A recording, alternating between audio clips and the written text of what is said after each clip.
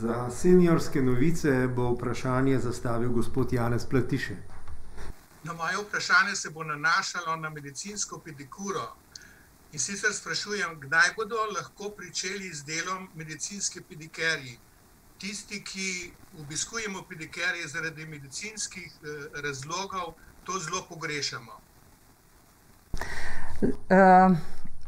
vsak teden, ko se odloča, o različnih dejavnostih, ki se postopno sproščajo, se odloča, se nekako odločitve sprejemajo, v nekem sorazmerju med tem, kaj je smiselno, opuščati oziroma zapirati, in tem, kaj bi ljudje potrebovali.